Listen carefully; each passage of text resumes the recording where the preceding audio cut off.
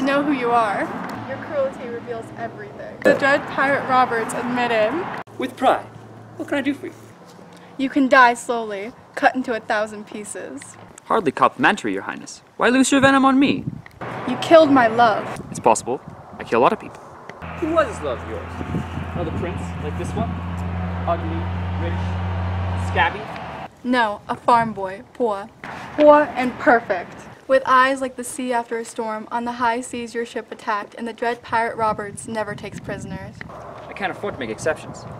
Once it gets out that a pirate's gone soft, people begin to disobey. It's nothing but work, work, work all the time. You mock my pain. Life is pain, Highness. Anyone who says differently is saying something. I remember this farm boy of yours, I think. This was what, five years ago? Does it bother you to hear? Nothing you will say can upset me. He died well. That should please you. No bribe attempts or blubbering. He simply said, please. Please, I need to live. It was the please that caught my memory.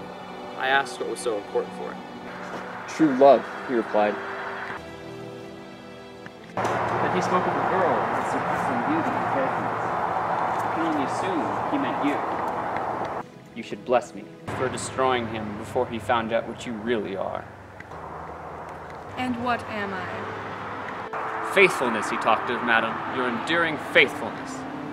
Now tell me truly, when you found out he was gone, did you get engaged to your prince that same hour, or wait a whole week out of respect for the dead?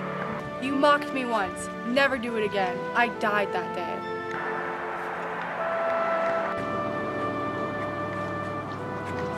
You can die too, for all I care.